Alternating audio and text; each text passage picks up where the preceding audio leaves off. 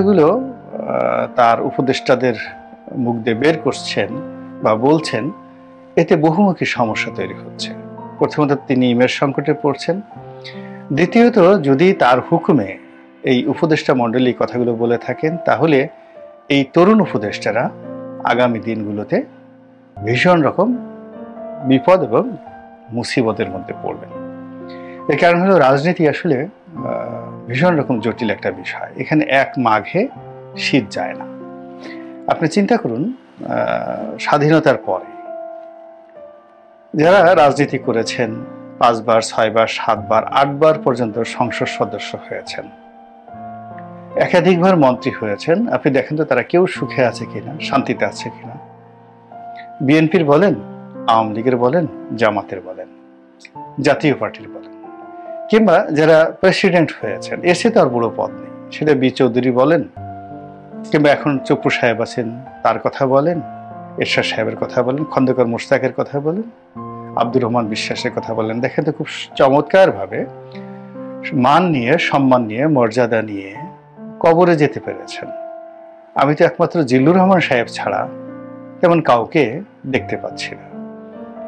আব্দুল হামিদ সাহেবের মতো এতটা জনপ্রিয় স্পিকার এবং এতটা জনপ্রিয় রাষ্ট্রপতি আমি দেখিনি। কিন্তু সেই স্পিকার আব্দুল হামিদ সাহেব বা রাষ্ট্রপতি আব্দুল হামিদ সাহেব তিনিও এখন প্রকাশ্যে রাজপথে বেরোতে পারছেন না।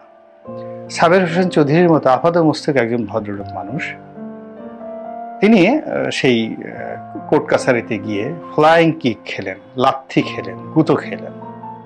তো রাজনীতিটা এরকম একটা নোংরা জায়গাতে পৌঁছে গিয়েছে। আবার বিএনপির মধ্যে ধরুন, একেবারে আপাদ মস্তক যাকে বলা হয় শিক্ষিত, সজ্জন, ভদ্র এবং মার্জিত, যেমন এম কে আনোয়ার সাহেব ছিলেন। তো তিনিও তো আওয়ামী দুঃশাসন থেকে রক্ষা পাননি। আমি শুধু এম কে আনোয়ার সাহেবের নাম বললাম, এরকম আরও অনেকের নাম কিন্তু বলা যেতে পারে। রাজনীতিতে আসতে চেয়েছিলেন আসাপদ্দৌলা সাবেক সচিব। লেখাপড়া জানা, শিক্ষিত, বাগ্মিতা, কিন্তু অপমানিত, লাঞ্ছিত হয়ে তাকে এখান থেকে চলে যেতে হয়েছে। এই হাইকোর্টে এনে তাকে অপমান করা হয়েছে। তার চাইতেও মানে তার চাইতেও আরও এক ধাপ মেধাবী মোকাম্মেল হক সাহেব। ভোলার যে কবি মুজাম্মেল হক সাহেব, মুজাম্মেল হক সাহেবের সন্তান মোকাম্মেল হক সাহেব one of the brilliant orator one of the brilliant CSP তার লেখাপড়া, তার কথাবার্তা, তার জ্ঞান, তার ডেপথ অফ নলেজ এখনও অনেক, তার বয়স নব্বই বছরের মতো হয়ে গেছে। কিন্তু এখনও তিনি যে ভাষায় কথা বলেন, তার সামনে কলম ধরার মতো মানুষ আমি এখন দেখি না। এই মানুষটি রাজনীতির মধ্যে যখন এসেছেন, ভোলার জ্যাকবের কবলে পড়ে তিনি তার সর্বনাশ হয়ে গেছে। আওয়ামী লীগ একদিকে তাকে প্রতিমন্ত্রী বানিয়েছে বিনয় গুড়ের চেয়ারম্যান বানিয়েছে, গাড়িতে ফ্ল্যাগ দিয়েছে। আবার অন্যদিকে জ্যাকুবকে লেলিয়ে দিয়েছে, পিটাও, তার গাড়ি ভাঙচুর করো। এগুলো রাজনীতির নোংরামি। এই নোংরামি জাতীয় পার্টিতে আছে, এই নোংরামি বিএনপিতে আছে, এই নোংরামি যে জামাতে নাই, এ কথাও কিন্তু বলা যাবে না। তো ইচ্ছাই হোক, অনিচ্ছাই হোক, প্রকৃতির কারণে হোক, যে কারণেই হোক না কেন, ডক্টর মোহাম্মদ ইনুস রাজনীতির এই জায়গাটাতে চলে এসেছেন। তো এখানে অতীতে লতিফুর রহমান সাহেব এসেছেন, হাবিবুর রহমান সাহেব এসেছেন, তারপর বিচারপতি শাহাবুদ্দিন সাহেব এসেছেন, লতিফুর রহমান সাহেব এসেছেন। তো সব দিক থেকে একমাত্র জাস্টিস হাবিবুর রহমান সাহেব মান সম্মান নিয়ে কবরে যেতে পেরেছেন, এই তত্ত্বাবধায়ক সরকারের ই হিসাবে।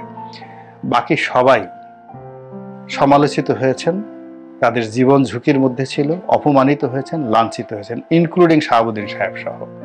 আওয়ামী লীগ তাকে প্রেসিডেন্ট বানিয়ে যে পরিমাণ অপমান তাকে করেছে, তার সে তার মরে যাওয়াটা উত্তম ছিল। তাকে যে ভাষায় গালাগাল দিয়েছে জাতীয় পার্টি জাস্টিস শাহাবুদ্দিন সাহেবকে, বলার মতো নয়। তো এখানে ডক্টর মোহাম্মদ ইনুস যেখানে এসেছেন, তাকে লড়াই করতে হবে, সংগ্রাম করতে হবে এবং পুরো পরিস্থিতি মোকাবেলা করতে হবে।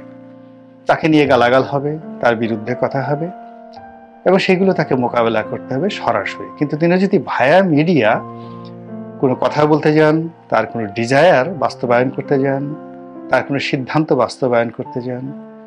তিনি নিজেও বিপদে পড়বেন আর যাদের মাধ্যমে করাবেন, তারাও বিপদে পড়বে তো কাজে আমার একটা অনুরোধ থাকবে যে তিনি কথা বলবেন সরাসরি